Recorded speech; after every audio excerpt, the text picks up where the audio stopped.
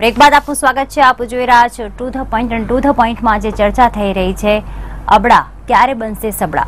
ક્યારે માતા પિતા પોતાની દીકરીઓને ફેશનથી ફેશન ભલે કરાવે, પણ સાથે સાથે ફાઇટિંગ પણ શીખવાડવા મોકલશે? કારણ કે અત્યાચાર અને જે વધા, વધારો થઈ રહ્યો છે બળાત્કારના બનાવોમાં, એમાં જો જો સેલ્ફ ડિફેન્સની ટ્રેનિંગ જે આત્મરક્ષણની તાલીમ જો પુત્રીઓ લીધેલી હશે, તો કદાચ આ ઘટનાઓને આપણે ઓછી કરી શકીશું. ભલે રોકી નહીં શકીએ, પણ ક્યાંક કેટલાક અંશે ઓછી કરી શકીશું. આજ અંગે વધુ વાત કરવા રૂઝાન ખંભાતાજી, જે વન મહિલા હેલ્પલાઇન સાથે જોડાયેલા છે, એ આપણી સાથે છે અને સાથે જ અમદાવાદ જે યુનિવર્સિટી પોલીસ સ્ટેશન છે. એના પોલીસ ઇન્સ્પેક્ટર એટલે કે પીઆઈ મયંક એમ રાજ્ય ગુરુજી પણ જોડાયેલા છે કે જેઓ કરાટે સાથે પણ સંકળાયેલા છે. મયંકજી, ખાસ આપ શું કહેશો કે આપે વાત કરી કે એક કળા છે, એક સ્કિલ જ છે.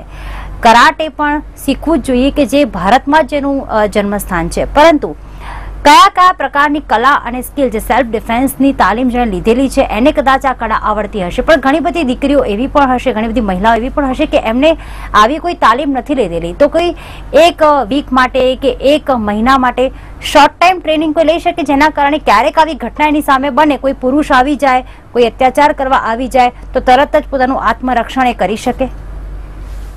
આમાં હું એક વાત કહીશ કે જે લોકોએ તાલીમ નથી લીધી, એ કશું નહીં, તો એટલું તો કરી શકે કે બને ત્યાં સુધી એકલા નિર્જન જગ્યાએ નહીં જવાનું. અને સાથે ફ્રેન્ડ હોય એવી રીતે જવાનું અને રાત્રિના સમયમાં ખાસ ધ્યાન રાખવાનું. અને આવું કોઈ પણ એને જણાય તો એક વખત ભાગી જવામાં પણ કોઈ હરકત કાંઈ કાંઈ વાંધાજનક નથી. કારણ કે માણસને પોતાના ઇજ્જત કે જીવ બચાવવા માટે થઈને કદાચ એકવાર ભાગવું પડે, ભગવાન પણ ભાગેલા હતા, કૃષ્ણ ભગવાન. તો એ પણ કરી શકાય, બૂમ પાડી શકાય. બરાબર? પછી પોતાની સાથે પર્સ હોય તો એમાં મરચાની ભૂકી રાખી શકે. કદાચ એક અત્યારે જે સ્પ્રે આવે જ છે, આંખમાં તમે છાંટો એટલે અતિશય તીવ્ર પીડા થાય એનાથી આંખમાં. એ ના થાય તો પાવડરનો ભૂકો છે, આ છે, તે છે મરચાનો પાવડર. આ બધું રાખી શકે છે. અને જો થોડા દિવસ માટે પણ, પંદરેક દિવસ માટે પણ જો સેલ્ફ ડિફેન્સની તાલીમ મેળવે તો એમાં ગોઠણથી અમુક એટેક કરવાના આવે છે ગ્રોઈન ઉપર, એટલે બે પગની વચ્ચે. પછી કોણીથી એટેક કરવાના આવે છે. પછી એને તમે લમણા ઉપર પણ અમુક એટેક કરી શકો. ગળામાં, ગળાના ભાગમાં ગ્રોઈન ઉપર. આ બધા વાઇટલ પોઈન્ટ્સ કહેવાય છે શરીરના જે જે અંગો એવા છે કે જ્યાં એમ કે ઓછા, ઓછી તાકાતથી પણ પ્રહાર કરો તો વધારે ઈજા થાય.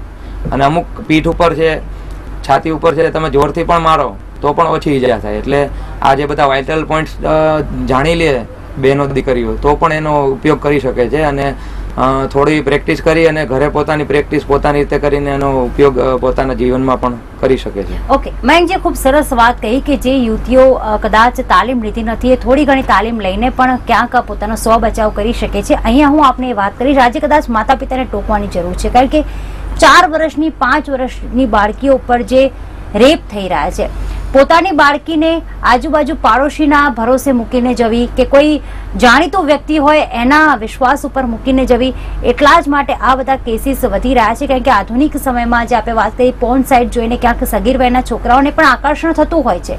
તો જેની બાળકીઓ નાની છે, કે જેનો હજી બચાવનો આધાર, રક્ષણનો આધાર હજી પણ માતા પિતા કે અન્ય સગા ઉપર છે, એ ખાસ માતા પિતાએ શું ધ્યાનમાં રાખવું જોઈએ?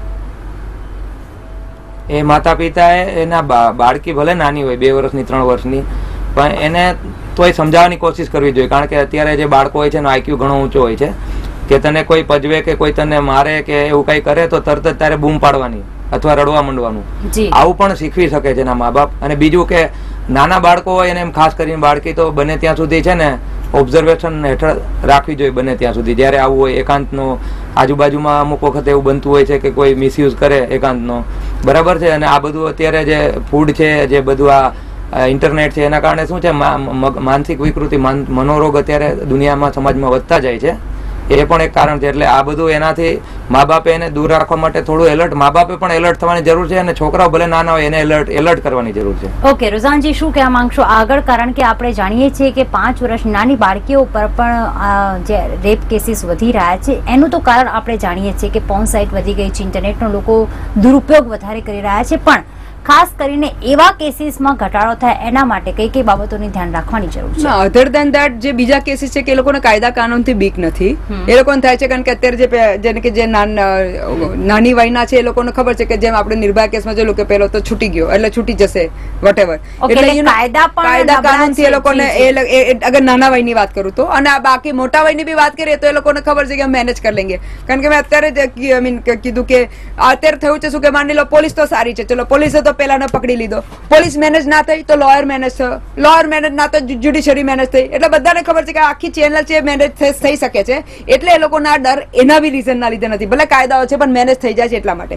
બીજું વાત હવે આપણે બીજી બીજી રીતે વાત કરીએ, જેને અમે કહીએ છીએ કમ્યુનિટી પોલીસિંગ કમ્યુનિટી પોલીસિંગમાં મારે એવું કહેવું છે કે આપણે આપણે અત્યારે પોલીસ પર નાખીએ લો પર નાખીએ જ્યુડિશરી પર નાખીએ, એટલા બધું જવા કરતા બેટર છે કે આપણે આપણે પોતાનું જાણે કે તમે કીધું કે બાળકીને, નાની બાળકીને તો છોડવી ના જ જોઈએ એકલી. પોઈન્ટ નંબર વન બીજી વાત કરીએ કે હવે ખબર છે કે દુનિયા ખરાબ હે જમાના ખરાબ હે તો આપણે કંઈ એવું તો રહી ગયા છે કે બાલકીને કંઈક છોડીને ગયા ને બીજું એવું કંઈ કામ રહી ગયું? Point number one point number two કે જ્યારે આ બધું થાય છે ત્યારે મારે જેમ સાહેબે કીધું કે બૂમ પેલી બાલકીએ પાડી પેલી બાલકી રડી. તો આજુબાજુવાળાને કશું સમજાયું નહીં? આજુબાજુવાળા એટલા બી નિર્દય થઈ ગયા છે કે ભાઈ કોઈ નાની બાલકી રડે છે. તો તમે ત્યારે ધ્યાન તો રાખો કે આટલી જોર જોરમાં રડે છે તો શું રીઝન છે? કઈ રીઝનના લીધે રડી રહી છે? કારણ કે આજની તારીખમાં એવું થઈ ગયું છે કે બધા પોતાના જે પેલું પોતાની જે શું કે પ્રણાલી છે રહેવાની એ રહેવા રહી લાગ્યા છે.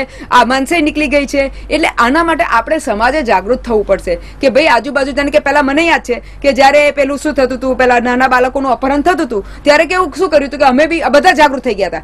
ગાર્ડનમાં બી કોઈ બાળકી જોરમાં રડે ને તો એનો એના વાલી જોઈએ કે આ એનો વાલી છે કે કોઈ બીજાનો વાલી છે. પૂછે કે ભાઈ તું એનો વાલી છે કે નહીં એટલે ખબર પડે. ટટોલી કે આ કોઈ એનો અપહરણ ના કર્યું હોય.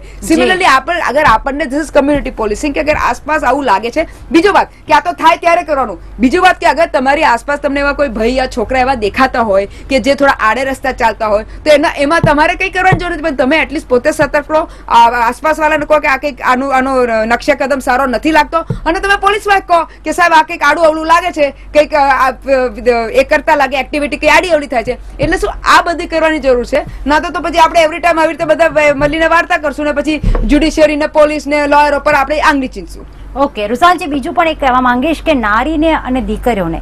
સહનશીલતાની મૂર્તિ કહેવામાં આવે છે કે ભાઈ તારે સહન જ કરવાનું છે. પરંતુ આ સહનશીલતાની મૂર્તિ નારીને બનાવવામાં સમાજનો કેટલા અંશે રોલ રહે સમાજનો રોલ છે ને, કારણ કે પહેલાથી પેટ્રાઇકલ સોસાયટી જે આપણે વાત કરી, પિતૃત્વ હતા સોસાયટી, પહેલાથી કહેવામાં આવ્યું છે કે ભાઈ તારે તો સહન કરવાનું છે. એક્ઝામ્પલ હવે તમને બીજ, ફરી એક એક્ઝામ્પલ આપું, કે હસબન્ડે વાઈફને મારે. બરોબર છે? ઘરેલું હિંસા.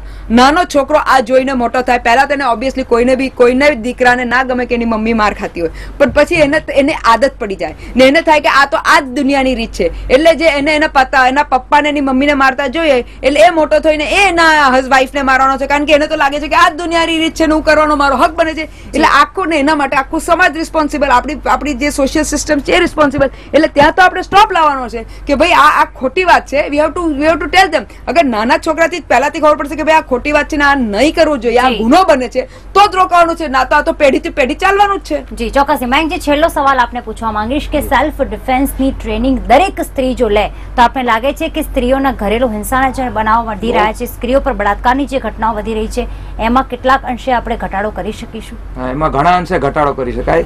હું આપને એક દાખલો આપું છું. જે મહા- મહાન માર્શલ આર્ટિસ્ટ બ્રુસલી જે ચાઇનાના હતા મૂળ અને અમેરિકામાં ઘણો ઘણા વર્ષો રહેલા.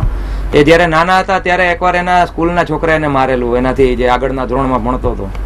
તો એના મમ્મીને કીધું કે મને ઓલા છોકરાએ માર્યું. તો એના મમ્મીએ એમ કીધું કે તું તારો બચાવ જાતે કર. પછી એને લાગી આવ્યું ને પછી એણે આ માર્શલ આર્ટમાં ખૂબ જ મહેનત કરી.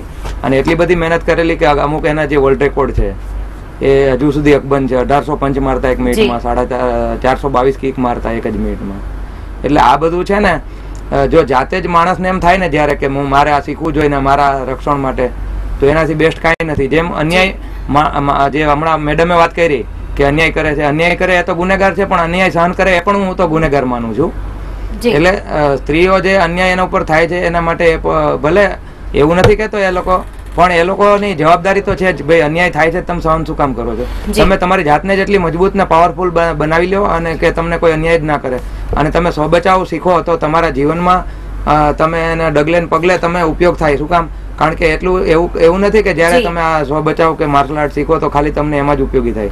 તમારા જીવનના કોઈ પણ ફિલ્ડમાં પણ ઉપયોગી જી મયંકજી રુઝાનજી ખૂબ જ સમય ઓછો છે એટલે ખાસ દર્શક મિત્રો એક જ વાત કરી કે સેલ્ફ ડિફેન્સની ટ્રેનિંગ દરેક પુત્રીઓ માટે દરેક સ્ત્રી માટે જરૂરી હોય છે. જેમ દરેક માતા પિતા ઈચ્છતું હોય છે કે મારી દીકરી ડોક્ટર બને એન્જિનિયર બને એમ. હવે માતા પિતાએ ડોક્ટર એન્જિનિયર બનાવવાની તો જરૂર છે પણ સાથે સાથે એને સેલ્ફ ડિફેન્સની ટ્રેનિંગ પણ આપવાની એટલી જ જરૂર છે કારણ કે કહેવાય ને કે ક્યારે પણ કંઈક ખોટું થવાનું હોય તે પૂછીને નથી આવતું અચાનક જ કંઈક આવી જતું હોય છે. રુઝાનજી ખબર- હિંમતે મર્દે તો મદદ ખુદા. જી ખૂબ ખૂબ ધન્યવાદ રુઝાનજી અને મયંકજી ચર્ચામાં ભાગ લેવા બદલ. થેન્ક યુ વેરી મચ અત્યારે બસ આટલું જ